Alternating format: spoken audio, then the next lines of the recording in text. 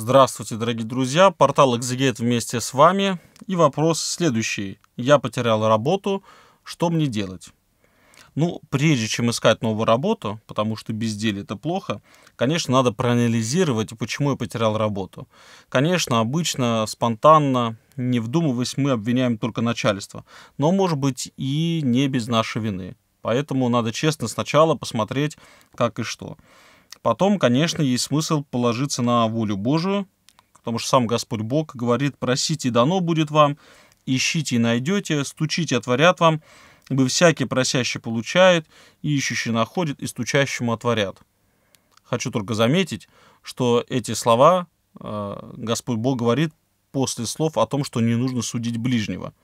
Поэтому, если вы будете искать новую работу, при этом э, будете одновременно с этим обижены на весь белый свет и будете молиться, то ничего не получится. Надо простить тех, кто вас уволил, даже если это было несправедливо.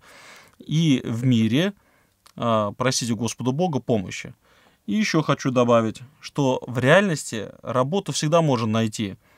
Она просто бывает не очень э, статусная может быть, э, вам стыдно там поработать где-то даже веником, дворником или помочь каким-то людям. Так что вопрос, э, наверное, не только еще и в работе, но и в нашей гордости. Потому что очень многие люди не могут найти работу не по той причине, что ее нет, а потому что им хочется найти что-то такое, чтобы я мог сказать, а я вот работаю в такой-то фирме, я там большой начальник. Так что для борьбы с праздностью нужно найти сейчас любую пусть даже не самую статусную работу, чтобы не бездельничать. Ну, а если будете в мире у Господа Бога просить, то думаю, что все получится.